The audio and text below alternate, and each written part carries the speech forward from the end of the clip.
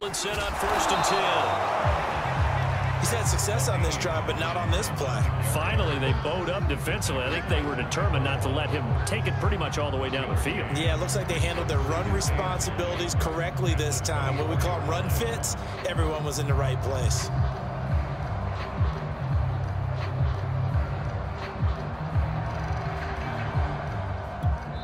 Now the timeout comes here in the waning seconds of this overtime as we could be set up at long last for a potential game winner.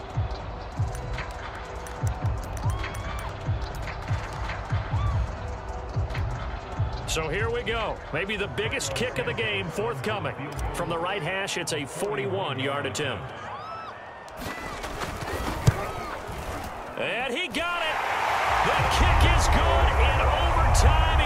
Split the